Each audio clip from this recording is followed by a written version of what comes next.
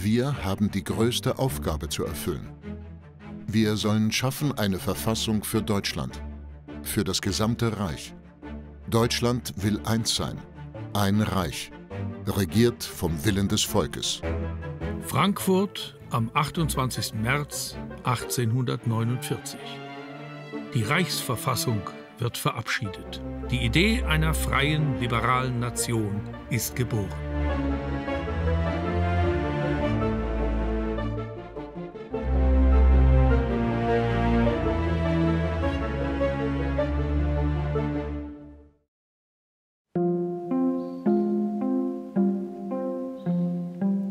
Elf Jahre zuvor, im Herbst 1838, machen sich drei Brüder auf den Weg zum Berg Staufen.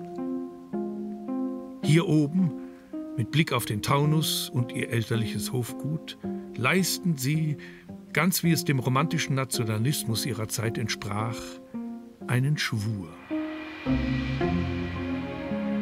Und wie die Inschrift in Stein gegraben, besteht das Wort, das wir zum Bund uns gaben. Nur eine deutsche Fahne sollte wehen, vom Ostseestrand bis zu der Alpenhöhen. Und unsere Losung war, ein Deutschland sei, ein Vaterland, groß, mächtig, einig, frei. Von nun an soll das Schicksal von Friedrich, Heinrich und Maximilian von Gagern mit dem Kampf für die Einheit Deutschlands verbunden sein. Doch wie kommt es zu diesem Schwur, der einen der Brüder sogar das Leben kosten wird?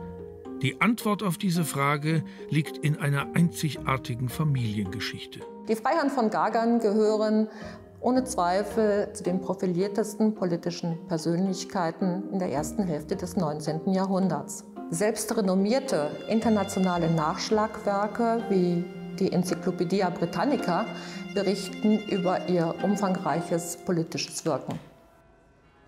Und hier beginnt die Geschichte in Hornau.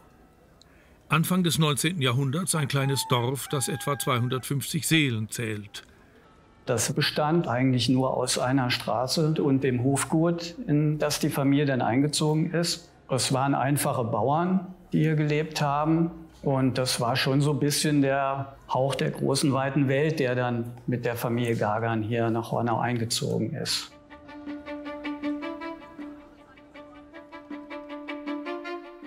Hans Christoph von Gagern ist nach seinem Studium der Rechts- und Staatswissenschaften im Alter von 19 Jahren in den Staatsdienst eingetreten. Bereits mit Anfang 20 ist er Regierungschef des Fürstentums Nassau-Weilburg. 1814 nimmt er als Gesandter des Königs der Niederlande am Wiener Kongress teil. Mit allen mächtigen oder ausgezeichneten Männern meiner Zeit war ich in Berührung, oft in vertraulichen Verkehr. Als Gesandter am Frankfurter Bundestag setzt er sich dafür ein, dass alle deutschen Staaten eine Verfassung mit Freiheits- und Mitwirkungsrechten erhalten sollen. In Germanien bin ich geboren. Ursprung, Sprache, verlebte Jahre, Sinnesart, alles knüpft mich an die Deutschen. Wenn ich es versuche, einfach zusammenzufassen, dann ist Hans-Christoph von Gagern für mich eigentlich so ein Produkt der Aufklärung. Also das ist jemand, der sehr tolerant ist, der vielleicht zu sehr auch an die, an die Vernunft glaubt, an die Erziehung glaubt, aber der gerade seinen Söhnen doch viel ermöglicht, äh, was sie machen können. Die Söhne genossen nach dem übereinstimmenden Gutfinden beider Eltern schon im Knabenalter große Freiheit. Und alle haben zum Zweck der Fortbildung frühzeitig das elterliche Haus verlassen. Wie wichtig eine weltläufige Bildung ist, weiß auch Hans-Christoph von Gargans Ehefrau. Mit 17 Jahren heiratet Charlotte Freien von Gaukreben ihren Mann. Als Ehefrau von Hans-Christoph von Gagern hatte sie auch repräsentative Funktion als Ministergattin. Und der Umzug nach Hornau hat auch ihr Leben natürlich sehr stark verändert. Auf dem Hofgut teilen sich Charlotte und Hans Christoph die Arbeit. Sie kümmert sich um das Boten- und Rechnungswesen, er organisiert die Arbeit auf den Feldern und in den Ställen und geht seinem Hobby als Rosenzüchter nach. Nach bewegten Jahren mit andauernden Auslandsaufenthalten wird das Hornauer Hofgut für die Familie zur neuen Heimat. Wir hatten ja insgesamt zehn Kinder, davon sind allerdings zwei schon relativ jung gestorben, dann der August mit 20. Aber der Rest der Familie war in den, in den Sommermonaten schon relativ häufig und auch geschlossen mit Enkeln und allem drum und dran. Hier in Hornau, also so ein bisschen Ferien auf dem Bauernhof. An einem schönen Abend gingen wir alle auf die Wiese, die nahe am Garten liegt. Moritz spielte mit Heinrich Federball. Und dann lagerten sie sich im Halbkreis um uns herum. Vater und Mutter sahen ganz stolz und zärtlich auf sie herab. Die Familie ist eben erstaunlich tolerant für die Zeit. Der Vater ist ja verheiratet mit einer Katholikin und wie das dann noch im 18. Jahrhundert üblich ist, hat man dann die Abmachung, dass die Söhne in der Religion des Vaters und die Töchter in der Religion der Mutter erzogen werden. Das Hofgut entwickelt sich auch zu einem geistig-politischen Zentrum, das viele Gelehrte seiner Zeit anzieht. Staatskanzler, hohe Beamte, Herzöge, Diplomaten und Schriftsteller schätzen den Austausch mit Hans Christoph von Gagern. Hier verfasst er verschiedene kulturhistorische und politische Bücher und wird als der Weise von Hornau bekannt.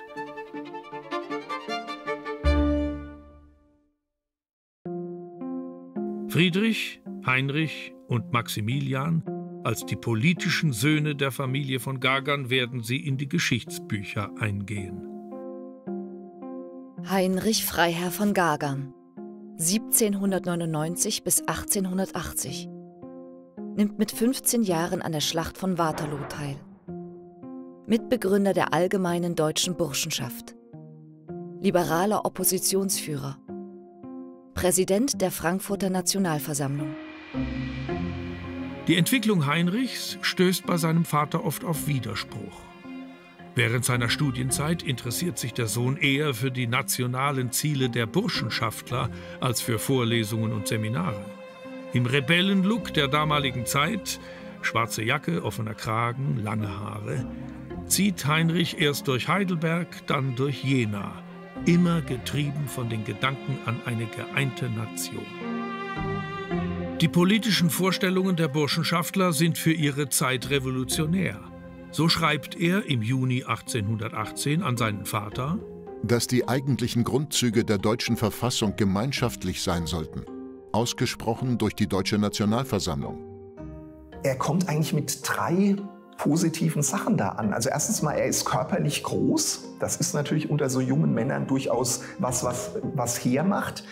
Er ist ein Adliger, was ihn auch ein bisschen unangreifbar macht. Und das Dritte ist natürlich, er hat bei Waterloo mitgekämpft. Also er ist sozusagen ein Kriegsheld. Und das ist natürlich für diese Burschenschaft, die sich eigentlich ganz stark über die Befreiungskriege definiert, obwohl sie die alle nicht mitgemacht haben, ist das natürlich ein ganz wichtiger Punkt. Also das ist hier eine, eine junge Generation, die sich absetzen will und der Heinrich von Gagern passt da genau rein.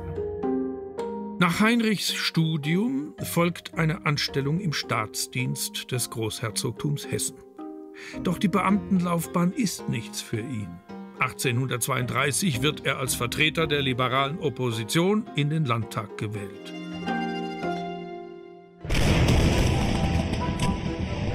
(1848) hält die Märzrevolution das Land in Atem. Das Bürgertum und der Adel ringen um die Macht im Land. Mittendrin Heinrich von Gagern, der zu einer der wichtigsten Figuren wird. Ja, die Idee, die Einzelstaaten sollen einfach den preußischen König als Monarchen einsetzen und dann muss die Revolution nicht weitergehen und dann können wir eine Verfassung machen und gut ist es. Und da merkt er dann sehr schnell, das läuft mit den Fürsten nicht. Da merkt man richtig, wie bei Heinrich sozusagen der Schalter umgeht und er ist dann einverstanden damit, dass es eine parlamentarische Lösung gibt, dass also über ein Parlament eine Verfassung gemacht wird. Im Mai 1848 wird Heinrich von Gagern zum ersten Präsidenten der Frankfurter Nationalversammlung gewählt. Er war für einen großen Teil der Nation die Verkörperung des nationalen Gedankens selbst, der Apostel einer neuen Zeit.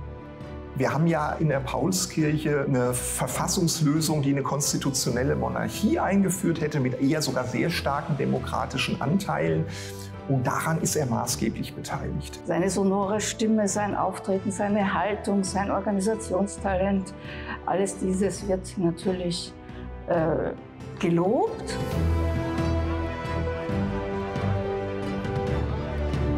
Diese Karikatur stammt aus einem größeren Kalender und Gagan ist da dargestellt mit der Parlamentsglocke, seinem Merkmal der Autorität und mit einer Route, die darauf hinweisen soll, ja, er habe doch manchmal doch etwas zu streng agiert und habe eben oft zur, zur Ordnung rufen müssen. Die Nationalversammlung in der Paulskirche sorgt im ganzen Reich für Euphorie.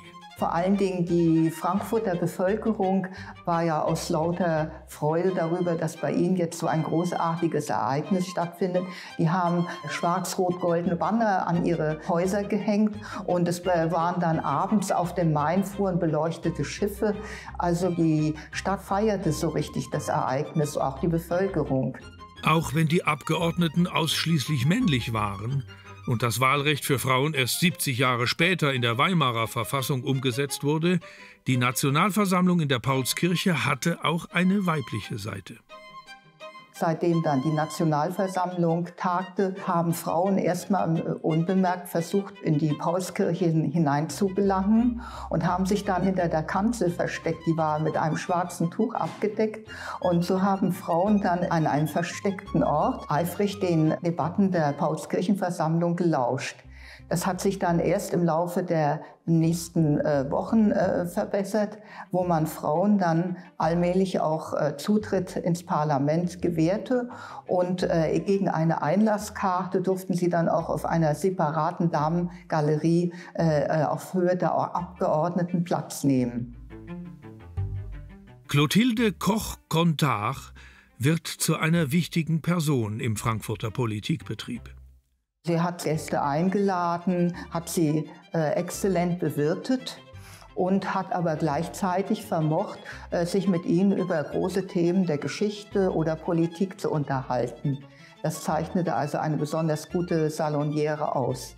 Und gerade von Heinrich von Gagern war Clotilde so begeistert wegen seiner wirklich profunden Kenntnisse zur Politik und auch wegen seiner ruhigen, sachlichen Art. Das hat sie also immer an ihm bewundert. Auch Heinrichs Bruder Maximilian ist Abgeordneter der Nationalversammlung und arbeitet im Verfassungsausschuss an der neuen Ordnung für Deutschland mit. Maximilian Freiherr von Gagern, 1810 bis 1889, studiert Rechtswissenschaften und Philosophie, Abgeordneter. Bevor Maximilian als Abgeordneter in die Frankfurter Nationalversammlung einzieht, ist es ein langer Weg. Immer wieder wird seine Karriere von Selbstzweifeln gebremst. Er ist so der, der am wenigsten lebensbejahend ist, der, der, der dann auch Schicksalsschläge zu tragen hat. 1849 stirbt seine erste Frau, was für ihn ein schwerer Schlag ist. Ich sehe immer klarer, dass ich ein ganz mittelmäßiger Tropf bin. Alle Extreme und Gegensätze streiten sich in mir auf die albernste Art. Sein Vater Hans Christoph ist am Verzweifeln. Mit einigen Mühen macht er seinem jüngsten Sohn eine Karriere in der Wissenschaft schmackhaft. Maximilian studiert Geschichte und hat ab 1837 einen Lehrstuhl in Bonn inne. Als Redakteur und Privatdozent hält er sich über Wasser, bis er 1840 in den nassauischen Staatsdienst eintritt. Im Revolutionsjahr 1848 wird Maximilian als Abgeordneter in die Frankfurter Nationalversammlung berufen. Er war Mitglied im Verfassungsausschuss und war auch stellvertretender Vorsitzender in diesem Verfassungsausschuss. Es entstehen Rechte, die bis heute aktuell sind und auf denen auch die Weimarer Verfassung und unser heute gültiges Grundgesetz basiert.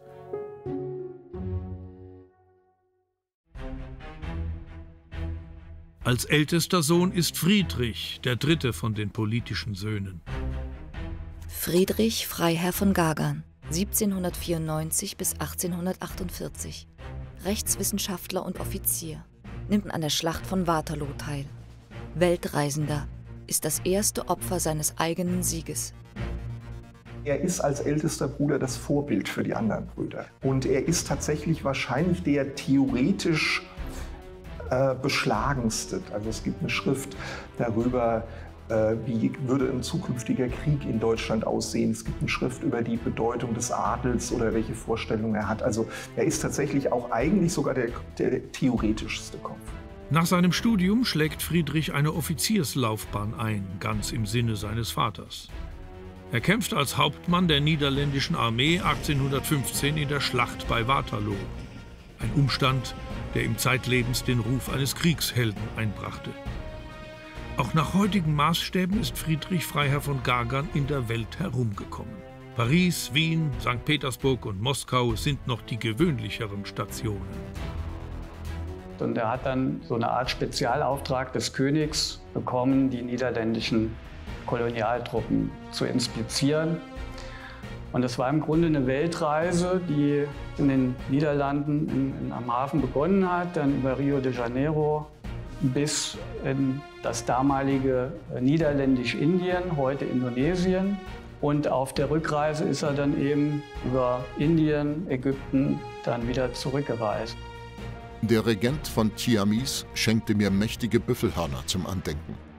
In einer Dimension, welche auch hierzulande für eine große Seltenheit gilt.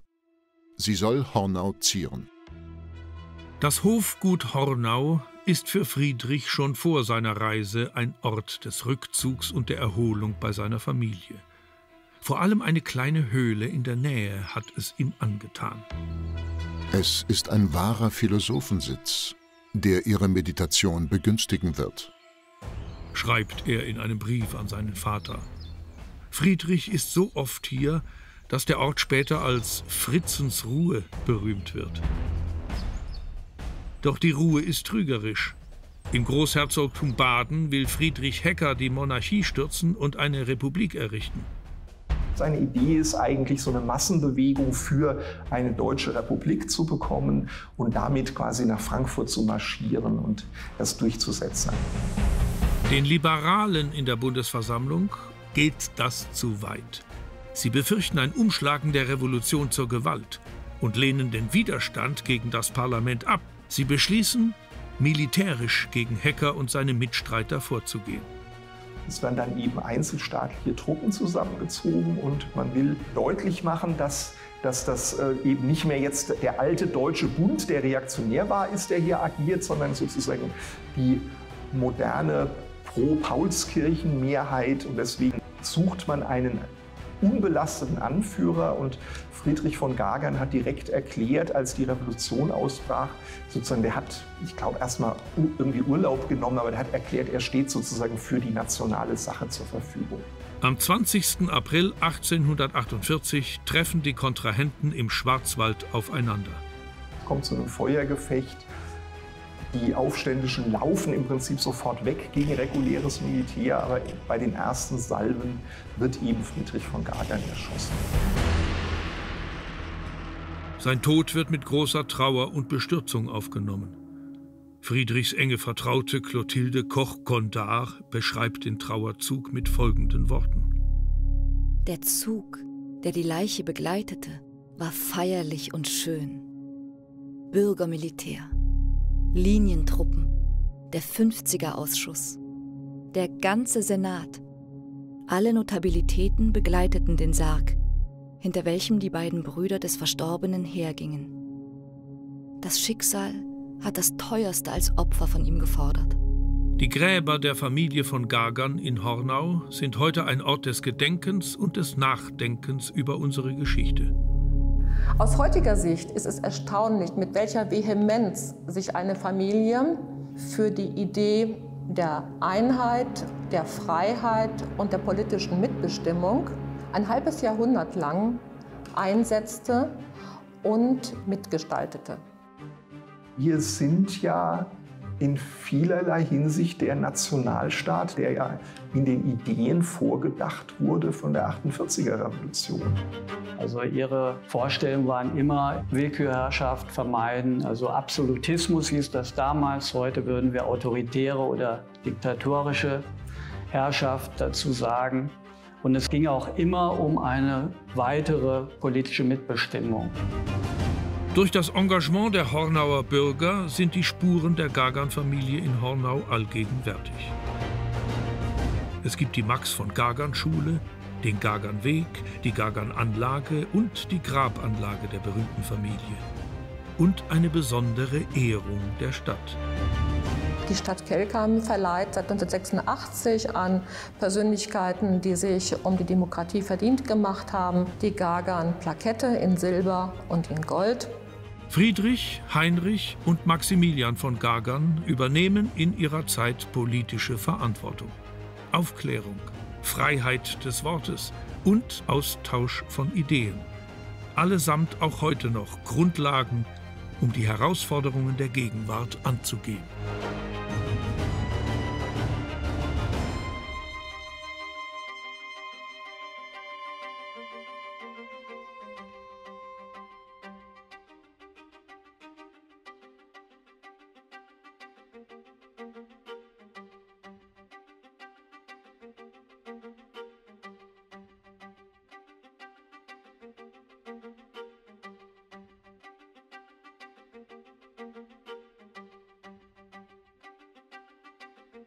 Música